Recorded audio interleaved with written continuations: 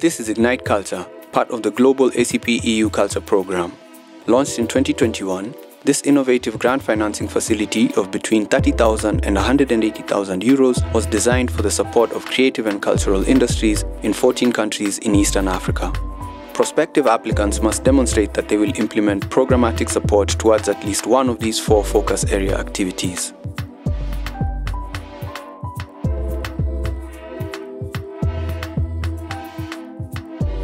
We are currently supporting our first cohort featuring organizations such as CIMA Africa from Uganda, Black Rhino VR from Kenya, Move for Art from Mauritius, and many more. You can read more about our first cohort by following at Ignite Culture on Medium.